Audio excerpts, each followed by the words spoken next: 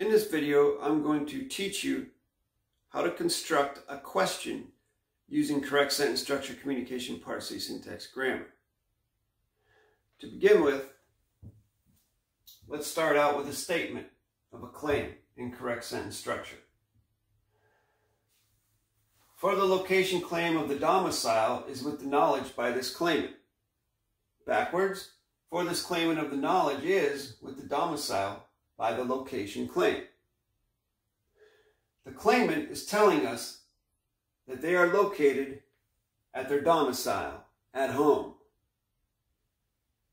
It's a statement of location, and the location is home, with the knowledge by the claimant. You have a cause, consequence, cogitation, possessive, authority. And then backwards, cause, consequence, cogitation, possessive, authority. In order to draw a straight line, you must have two points to know which direction the line is going in. Once you have those two points, now you can draw your straight line and there's no question as to where you're going. In the correct sentence structure, using the same concept, you need two facts in order to know where the claim is going.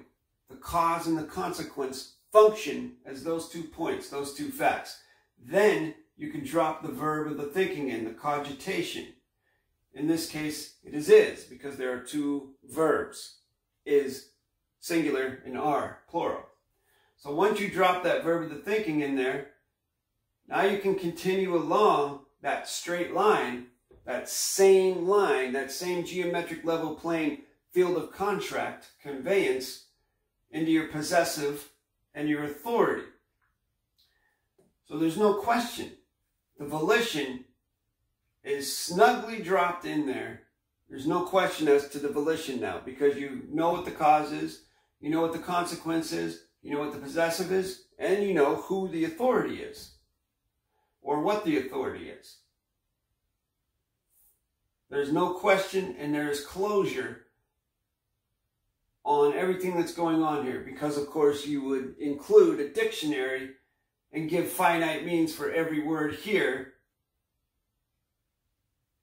The positionals, the lodials, the verb, and the facts. Here's a syntax key for this group of wordings. We have two for verb, five for positional, six for lodial, seven for fact. The way it would be syntaxed with the correctness would be position lodial fact. This is a compound known, a compound fact, hyphenated and underlined. Position lodial fact, verb, position, lodial fact, positional, lodial fact. 567, 5672, 567, 567. Now, if you want to ask this question, maybe I want to ask the claimant, are you home? Now, if I ask them, are you home?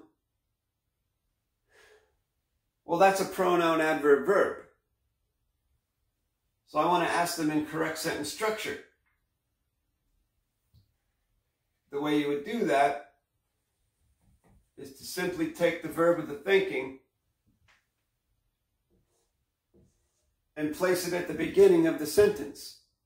Because now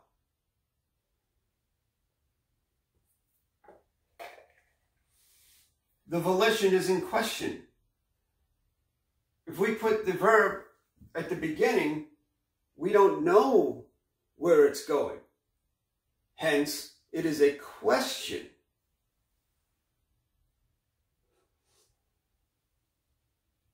The thinking, the volition is in question. Is for the location claim of the domicile with the knowledge by this claimant? Are you home? Backwards is for this claimant of the knowledge with the domicile by the location claim? And that's how you would do it. As a caveat, in my own personal correct sentence structure claims, I don't really use questions because I'm there to make statements of fact. But there are some times, especially when you are communicating with someone else who is conversant in correct sentence structure, you can ask questions like this. Although, again, I prefer not to. I prefer to make statements of fact. Hope this was helpful. If you like it, hit the thumbs up, subscribe, turn on your notifications. I appreciate your viewership. Thanks for watching.